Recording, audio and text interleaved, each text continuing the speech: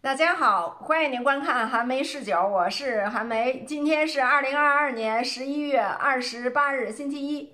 我这个视频只有两方面的内容，一方面的内容呢是关于在香港黎智英违反国安法的犯罪的案件，将在十二月一号进行开庭审理。但是呢，在此之前，黎智英又耍了花招。他要聘用英国的御用大律师来为他代理这个案件，那么他的这个行为呢，立刻就受到了香港律政司的反对。但是香港的法院层层审理，一直到最后呢，今天法院做出来了判决，说是黎智英可以使用英国的御用大律师。这件事情呢，引起来了巨大的争议。详细的情况我们一会儿来进行讨论。那第二方面的内容呢，就是具有更大争议、更大轰动性的，就是在这个周末的时候，在中国多个城市、多个大学出现了强烈的游行抗议示威的情况。那这个事情的详情呢，我们一会儿来讨论一下。好，首先呢，我们来说一下香港的这个情况。我刚才已经说了哈，因为黎智英前面的时候呢，他有好几项罪行已经被确认呢罪成，包括他参与非法集会呀、组织非法集会呀，还有商用物业的使用欺诈呀，这些这些呢都属于比较轻的罪行，所以呢，黎智英也没有玩太大的花样。那么在最后就要审理他违反国安法的这个重罪的时候呢，他现在开始负隅顽抗了。他聘请了英国的御用大律师来为他进行辩护。我刚才已经说了啊，律政司提起来反对之后呢，这个黎智英呢就上诉，经过香港法院层层的裁定，到最后呢。今天就判决的结果就是准许黎智英聘请英国的大律师。我觉得这件事情呢是非常的荒谬的。你可以去看看这些国家，任何一个国家可以允许其他国家的律师在他的法庭上出现吗？还别说是其他的国家了，你就是在美国也好，在加拿大也好，其他的国家呢，我不说。加拿大呢发放律师执照啊，是各个省发放律师执照的。你一个省的这个律师啊，你拿着这个省的律师执照到另外的一个省，你都不可以出庭。之前的时候呢，我曾经还得到加拿大安省的法律顾问的执照，但是我那个法律顾问到了曼省以后呢，就不好使，就作废了。有很多的执照，如果你是省发放的，你到另外的一个省就不好使。包括加拿大的这些医生，医生如果你在安省得到了一个执照，你到曼省或者到 BC 省或者到任何的一个省，你都不可以开诊所。任何一个地方的法律呢，只能由当地人来进行讨论这个法律的问题，它并不涉及到外国人。香港真是非常的奇葩，竟然还能出现这样的情况。香港的法官竟然还能够说呢，这是可以的。但是这个问题确确实实，这个香港版国安法里面呢，并没有具体规定到底外国的律师可不可以来代理个别的案件。所以呢，现在这种情况。香港的律政司，也就是相当于司法部或者检察院那么一个级别，是代表公众提起这个公诉的哈。这一方呢就认为是绝对不可以的，包括香港那些个法律专家以及香港基本法委员会的那些专家。他们都认为呢，这是荒唐的，这不应该被允许的。但是呢，他们又找不出来什么根据，所以香港行政长官李家超，他今天就正式的向中央政府提出来了一个报告，同时也向全国人大提出来了一个请求，请全国人大对这个香港版国安法进行这种司法管辖的解释。因为一国两制这东西呢，在中国它就是一个创新，没有之前的经验教训可借鉴。用邓小平的话说呢，就是摸着石头过河。那你要摸着石头过河呢，你难免在这个过程当中就会出现一些问题。本来呢，邓小平他提出来这个呢，是相当伟大的一个构想。但是呢，往往我们想不到一些人心的险恶，想不到美国等西方这些反华的势力，他们有多么的疯狂，他们是无孔不入的，不断的给你制造一些麻烦。但是他制造麻烦也没有用。香港呢，毕竟它是中国的香港，对香港的管理如何进行？采取什么样的政策，这都是中国他自己的主权问题，自己的内政问题，谁也干涉不了。正像香港这个修例风波发展的就是不可控制的那种情况之下，中央政府呢果断的推出了这个香港版国安法，而使得香港呢由乱转治。那么，黎智英这个案件呢，原定于十二月一号开始开庭审理。现在呢，香港律政司也申请了这个案件呢延后进行审理。这个事情呢，在香港是相当的轰动啊。这个黎智英一方还有那些个反华势力呢，就觉得说，哎，现在呢，他们又会取得一个阶段性的胜利。可是呢，他们就打错了算盘。我刚才已经说了啊，这是中国内政的一个问题，不会允许任何的外界插手。香港版国安法里面 就有这样的内容，黎智英这个罪的本身就是他勾结外部的势力来破坏国家安全，这是非常讽刺的。那么他现在再一次的又勾结外国势力。他这个图谋是绝对不可能得逞的。这个黎智英呢也是非常天真。好，这是我这个视频的第一项内容。第二项内容呢，就是关于这两天中国呢多地多所大学所发生的这个抗议示威活动，甚至呢这里面出现了暴力的情况。那么在这个之前呢，应一个网友的要求啊。我先跟大家来分享一篇文章，这篇文章的作者呢就是一个坏土豆。之前的时候我也多次跟大家分享过他的文章，他的这篇文章呢就是关于现代中国的这个抗疫的情况。还有这次的所谓的这个抗议示威活动当中呢，有一些人就声称说是呢，他们是为苍天说实话的。那么到底是谁在为苍天说话？我们就来看一下一个坏土豆他这篇文章是如何进行剖析的。土豆说：“是风控还是放开？”今天我第一次不做结论，因为这个阶段大家都很难。但无论怎么做，都会有个体不可避免的遭遇问题，这本是电车难题。那么，任何最终的结果都会有被只为苍生说人话的人的猛烈抨击。只为苍生说人话，这没有错。但是我希望不要忘了，二零一九年年底。疫情之前，中国的人均寿命是七十七点三岁。经历了三年病毒的洗礼之后，在全球寿命下降、争着减负省下养老金的前提下，中国的人均寿命七十七点九三岁，每个人提高了零点六岁，也就是半年以上的时间，摊在十四亿中国人身上。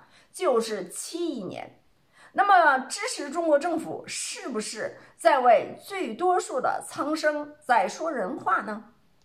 首先，对火灾中不幸遇难的同胞深表哀悼。接下来要说的是，在。悲剧发生后的短短几个小时，大量的谣言甚嚣尘上，如被传的有鼻子有眼儿的楼栋被锁、房门被铁皮封死。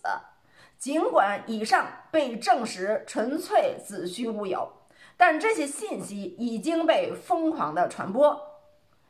我浏览了一些平台的帖子，大约有百分之三十的帖子直指一个原因，都怪抗议。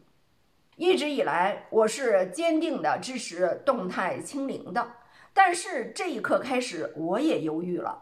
我不仅想这样抗议下去还有什么意义，因为非常有可能再过一个月，无论发生任何灾祸或者不幸，哪怕火山或者地震。所有的源头都会被大量的人认为只有一个，都怪抗议。可惜中国是一个有十四亿人口的大国，如此庞大的基数不可能保证人人幸福，那么抗议就一定会有错。这让我想起三年前面对疫情，特朗普的应对措施一塌糊涂，民怨鼎沸。特朗普天才一样的想到了一招，以不变应万变，都怪中国。然而，推诿和甩锅解决不了任何实际的问题。特朗普的小聪明根本挽救不了他被逐出白宫的命运。目前的抗议根本上就是如电车难题一样的两难选择，无论怎么做都不可能出现皆大欢喜的局面。因为病毒新的变种隐蔽性极强，感染力极强，我们根本找不到可以既要也要的完美解决方案。未来会怎么样？说实话，我也不知道。二零二零年三月，面对疫情的到来，英国首相鲍里斯什么都没做，却发表了貌似闪耀人性光辉的演讲。里面有一段原文如下，英文我就不跟大家读了，翻译成中文呢，就是疫情肯定会进一步蔓延，我必须对你们坦言，对英国民众坦言，将会有更多的家庭失去挚爱的家人，即使是崇尚自由的西方学术界，在当时也对鲍里斯的演讲进行了猛烈的抨击。因为悲剧本可避免，他却无所作为，依然让英国接受疫情的冲击，采取消极防疫。他这么做不要紧，关键他还说了出来，连个样子都不装。我们最难接受的是，悲剧本可避免，但却依然眼睁睁地去面对不可改变的命运。但是现在的问题是，无论做出任何的选择，都会造成不幸。在宇宙中，病毒的历史远远比人类久远万倍以上。直到1937年，人类才在电子显微镜上看到了病毒的面貌。到今天，为尚不足百年的时间，我们的科技手段要真正取得对病毒的胜利还非常有限。迄今为止，人类也不能完全的消灭病毒，而只能通过提升免疫能力或者部分药物来抑制病毒。与大自然的斗争从来没有说一定能胜利。这一次对新冠病毒的战争，如果说胜利，二零二零年四月八日武汉解封的那一刻，中国已经取得了完胜。但从美国和印度沦陷的那一刻，这场人类对病毒的战役，人类已经输了。可惜，中国是世界的一部分，我们是人类的一部分。人的一生是短暂的，不过几十年的光阴，随时会可能发生不幸。但一个文明社会的基础是如何让人有尊严的走完一生？如韩国世越号倾覆，韩国政府不管不顾，看着整船的学生去死，样子都不做，这是一种选择。如中国三峡游轮翻船，中国调动大量的人力物力，甚至不惜三次调节大坝的流量，就是为了微弱的希望，哪怕能够救一个人，最后悲剧依然无法避免。但这彰显了我们对生命的尊重与敬畏，这也是一种选择。老人创造的价值是有限的，甚至在经济学上是负值。如日本瓦罐坟，将老人背到山上去自生自灭，甚至沦为野兽的食物，这是一种态度。我们坚决抗议，在全球忙着甩富的时候，就在这三年，通过不懈的努力，将人均寿命逼近到七十八岁。主要健康指标在全球中高收入国家中已经位列前列，这也是一种态度。未来会怎么样？我第一次说，我也真的不知道。人类在面临不确定的危机与困难的时候，往往喜欢去找背锅侠，或者一厢情愿地认为，只要解决某个问题就可以一劳永逸。就如同七百年前欧洲黑死病蔓延，当时的人类技术根本找不出针对对抗病毒的方法，于是怀疑的矛头对准了欧洲社会的异类——犹太人。因为愚蠢的欧洲人认为是犹太人组织在水中投毒，才导致了这场大瘟疫。于是，城里的犹太人被赶尽杀绝，欧洲各国开始审讯，并且得到了他们所想要的供词，然后将城里的犹太人全部抓起来，剥光衣服，集中赶进一处房屋烧死。而对于民众而言，处死罪恶元凶，以正义与神的名义，每个行动的人都感受仿佛沐浴在荣耀之中。民众的疯狂创造出一个比地狱更加可怕、黑暗的世界。事实上，是不是犹太人干的，根本没有人在乎原因，大家只需要一个情绪的宣泄口。或者大家一厢情愿地沉浸在幻想当中，只要干掉了犹太人，问题就能解决了。就如同今天有不少人认为，只要不风控，一切就能好起来了。可惜这仅仅是单纯的幻想。如果真的那么美好，建议搞风控的岂不是傻子吗？全球各地的状态已经告诉了我们，在短期内。医疗系统必然受到严重的冲击，一个月的时间一定会爆发灾难。而从长期来看，长新冠效应会让人反复感染，对经济产生重大的冲击。但是人们总会在困境之中有一种幻想，认为我们只要怎么怎么样就能怎么怎么样。我曾经写过关于经济的几篇万字长文。在未来的几年，我们都会比较痛苦。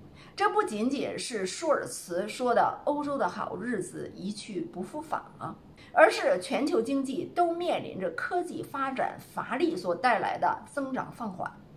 对于中国而言，更是因为地产、移动互联网、中低端制造业三大红利基本已经吃完，很难再取得奇迹一般的增长。未来数年。我们将在芯片、发动机、工业母机等基础领域持续发力，这是我们必须要走的路。但这些项目投入大、周期长，短期内并不会对消费端产生立竿见影的效果。如中国的太行发动机涡扇十推力超过十四吨，已经逼近全球最先进的技术了。我们在发动机领域取得突破性的进展，中国飞机的涡扇发动机问题的解决就在眼前，这是多年励精图治的成果。但是这些基础项目和十年前的移动化联网项目完全不同，依靠商业模式的创新就能带来数千亿的投资，并解决大量的就业率。现在拼的是硬实力。想在短期内马上产生经济效应或者大量的就业率，同样是不可能的。所以在未来，我们需要经过数年痛苦的爬坡期，才能迎来一个新的飞跃。日子不会如原来一样好过，但这是问鼎科技之巅必须要走的路。那么这段爬坡阶段可能有任何的不顺，都会被别有用心的人认为只有一个结论：都是抗疫惹的祸，是风控还是放开？今天我第一次不做结论，因为在这个阶段大家都很难，很多人很难，国家也很难。因为无论怎么做，都会有个体不可避免地遭遇问题，那么就会有被只为苍生说人话的人猛烈抨击。只为苍生说人话，这没有错。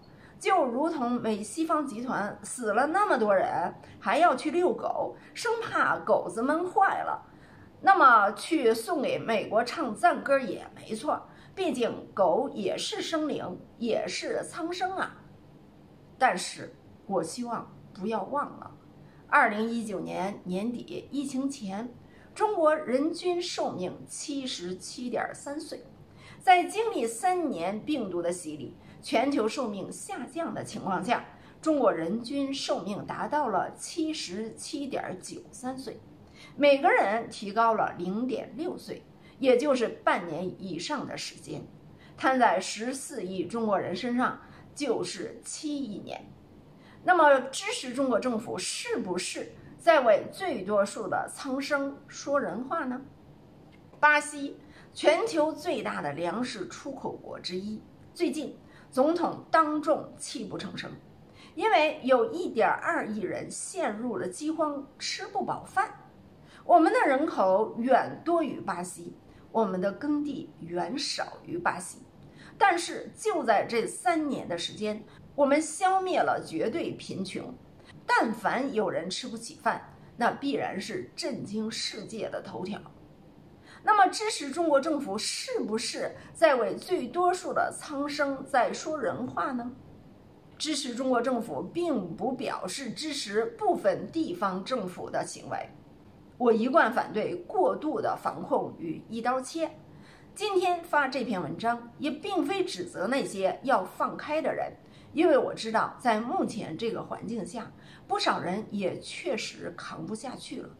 对于个体而言，这都没有错。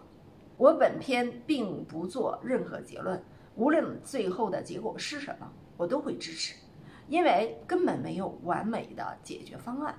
我只想说，无论结果是什么，我们已经交出了最好的答卷。已经做到了最好，无论我们最终的选择是什么，我们已经全力以赴。这就是一个坏土豆写出来的最新的一篇文章，这里面包含了新疆的大火这个事件，以及社会对新疆这个大火事件的这些争论，但是里面并没有包含这两天在中国多地所发生的校园的这种抗议。那么下面呢，我就跟大家说一下这次所发生的校园抗议。这次的抗议呢，让好多的中国人感到害怕，因为呢，它看起来像极了1989年的动暴乱的前期。而且呢，我们知道1989年的动乱呢，非常的危险，差一点儿就把中国带向了分裂，带向了和苏联解体一样的。那样的分裂，但是呢，我想告诉你，不必害怕，不必害怕。现在我告诉你发生了什么。Twitter 这个平台呀，是反中的大本营，是反中人士最集中的一个地方。那么我在 Twitter 里面看到了很多人发的那些个视频，从那个视频上来看，这次的抗议呢是发生在。北京、上海、广州、成都、云南，还有武汉这些地方。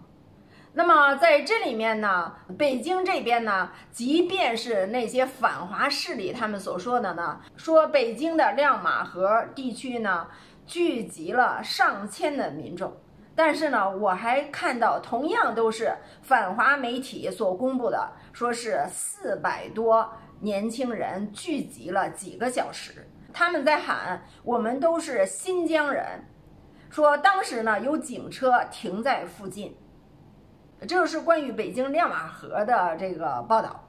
很显然呢，就是如果说是四百多人的话呢，他们在星期天晚上在那聚集几个小时哈，聚集了几个小时，也没有报道警察怎么样他们。那么后来他们也就解散了。然后呢，就是聚集的人最多的就是上海了。上海的人呢，都聚集在乌鲁木齐路，啊，上海有一个乌鲁木齐路，啊，他们都聚集在那里。为什么聚集在那里呢？很显然嘛，对不对？就是说哀悼那些乌鲁木齐大火里面死伤的人嘛，哈。这件事情啊，全世界都知道。啊，那些人他们的目的并不是哀悼乌鲁木齐大火里面死伤的人，而是呢借机生事儿，就是以这个为借口。那么在乌鲁木齐路呢，这些人的聚集呢，我放眼一看呢，也是几百人，顶多有一千人吧。我们可以来算一下哈，我看到有一个女孩啊，就跟那喊呀。说是要什么自由，要言论自由哈？你说你们都跟这儿以这种方式跟那儿喊了，你们还没有言论自由啊？你还要怎么自由啊？对不对？那么有的人就提出来说呢，说我如果不发声的话，我对不起人民。我就是想请问哈，我就想请问，西方国家的国家领导人呢，总是在统计他们是多少人支持他们，多少人反对他们，对不对？那么你们这些反对的人，我们来算一下，我们来算一下，北京有四百多，上海呢看起来好像多一点，咱们假如说它有六百多啊，加起来有一千多，其他的那些地方有多少人？我看到什么云南大理那儿呢，就放眼一看啊，也就十几二十个人。对吧？你加起来有多少人？你用十四亿来除一下，你想想看，你是占多大的一个比例？你到底在为谁说话啊？说你要是不发言，你对不起人民。那个人民是谁？那个人民是谁？对不对？你们在伤害中国大多数人的利益。你们这些人都是被西方所利用的一些傻叉，一些傻子啊！自己还觉得自己是精英似的，我看到有的人呢就在那质问那警察呀，说你们合着是有工资拿有饭吃，你知道吗？我们封控以后呢，我们都没有工作做，我没有工作，我没有收入，这一个社会啊，你知道不知道？它有一个失业率啊。它有一个失业率，一个社会当中呢，它一定是有这个失业人群的。那还有另外的一个名称叫劳动力储备，叫劳动力储备啊。一个社会最大的问题呢，不在于你有失业的人群，而在于你没有失业的人群。你明白吗？没有失业的人群更可怕。这就是为什么西方国家。他就老是搞很多的移民，他骗人。我移民到加拿大之前呢，我被告知说加拿大特别的缺人。当时呢，我没有天真到说，哎，我出国以后马上可以当一个法官，或者是当一个律师。但是呢，我当时我就想呢，我老公是一个高级工程师，我想我老公一出国以后呢，马上就是一个高级工程师，然后靠他自己完全可以养活我，我就可以在家里面做一个居家太太了。啊，我非常天真，我来了以后才发现根本就不是那么回事儿。我直到现在才明白，加拿大为什么他没有工作给我们，他还要搞那么多移民来。加拿大今年又调整了他们新移民的人数啊，未来的三年，加拿大要吸收新移民一百五十万，平均一年要来五十万人。加拿大没有这么多工作机会的，为什么呢？就是要有这个劳动力的储备啊，一定有人没有工作的，一定有人失业的。那么还有呢，就是我看到，即便是海外的反华势力，他们所发的这个视频哈，我仍然是看到了，在武汉，那有一些人就沦为暴徒了，他们就把那些防疫所用的那些隔离的那些板呢，上去全都踹倒，还有呢，我不知道那个栏杆是通向哪儿的，我不知道是政府部门还是什么，他们就使劲儿就摇晃那个栏杆，把那个栏杆呢全都给它推翻了。那栏杆不是说马路上的隔离墩儿啊，而是大院儿的那种栅栏呢，都给推倒了。这些都是暴徒的行为啊。说实在的，中国政府啊，对待民众的这些发泄不满的这种行为呢，是相当宽容的，相当宽容的。我经常在我的视频里面说，你就对比一下香港冲击立法会的那个暴力程度，还有美国在二零二零年一月六日冲击国会的那个暴力程度，哪个更重一些？很显然是香港嘛。但是香港抓了几个人，啊，香港没抓几个人，而且判刑呢也非常短。但是美国呢，美国冲击国会的那件事情呢，我上一次查，他已经是判了八百多个人了，八百多个人啊。你觉得亮马河那儿人聚集的挺多的，你觉得上海聚集的人挺多的哈？那个都不到八百。你可见美国就是冲击国会的那一次，他是判了多少人？判了多少人？还有呢，就在现场被打死的那个前美国的军人，那个女的，她怎么被打死的？她就在那摇那个门的时候，在那摇摇摇摇那个门，上去一枪就给你干倒，是不是？中国政府说实在的，对于这些人，这些反贼们。他的宽容程度比美国要强多了，就是给他们的自由度太高了。其实这些所谓的这些抗议啊，海外即便是美国社会的美国人，那些白人也是对这些人呢视为人渣的。美国人怎么看待那些人？那次呢，我就看到有一个人哈，他就是往他们，我不知道那是一个什么，往那儿泼漆啊，然后呢就怪了怪气，打扮的怪了怪气，然后就开始跟那儿演讲。我就看到人家留言的人，人家都怎么说？一方面呢，有些人就说，为什么这些一天到晚的反这个反那个的人，都是看起来怪里怪气的人？这是第一。第二呢，就是人家很多人就是说，政府就应该立法不允许他们这么做，他们这么做本质上就是坏人以合法的方式来做坏事儿，这叫抗议。抗议的本质就是坏人以合法的方式来做坏事儿，发泄。我刚才所读的坏土豆的那个文章。社会当中，他不可能每一个人都满意，他一定永远都有那不满意的，永远都有。如果你以某些人不满意就说这政府是一个坏政府的话，那永远都没有好政府，永远都没有。如果中国政府玩阴的的话，哈，现在就应该顺势儿就把这个抗疫政策取消，现在就放开了。就跟加拿大政府似的，加拿大发生的那个大卡车司机去抗议，加拿大政府就取消了，不管了。可是现在加拿大呢，新一波又来了，很多人就要求政府赶紧恢复，赶紧恢复。中国政府如果是跟加拿大政府一样，啊，顺势就把这个全都取消了，这些工作全都不做了，那么后面再出现，如果有人死亡的话。啊，或者大量的人死亡的话，就把这些责任归咎到张文宏们的身上，对张文宏们进行审判。原来你只是一个寻衅滋事罪，现在就判你故意杀人罪。但是呢，中国政府是一个负责任的政府。中国政府今天呢，三个官媒上面发了三篇这个社评。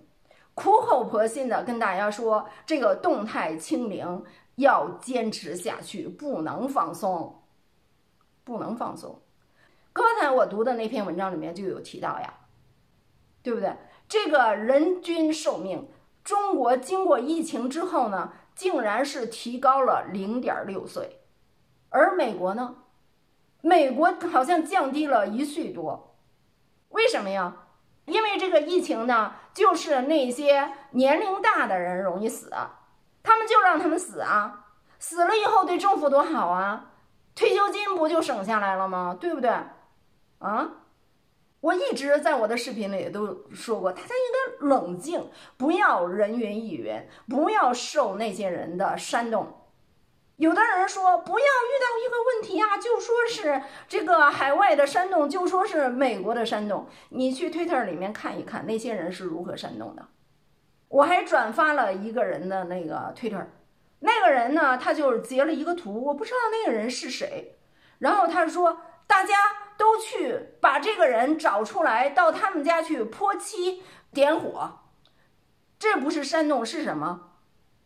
再加上这次，为什么一夜之间这些人全都上街，喊的口号都一样，他们的方式都一样，拿一张白纸，啊，这就是背后策划的人策划出来的这种策略、这种方式，在不同的城市、不同的大学，告诉那些学生啊，同样的方式，如果没有人在背后在这策划和组织的话，可能这么一致吗？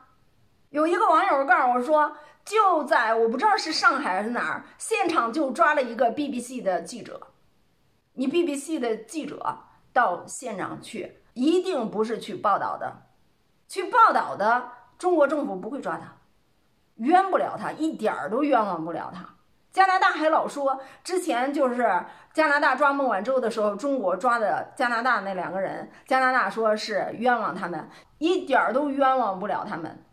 中国的国安肯定是盯了他们很久了。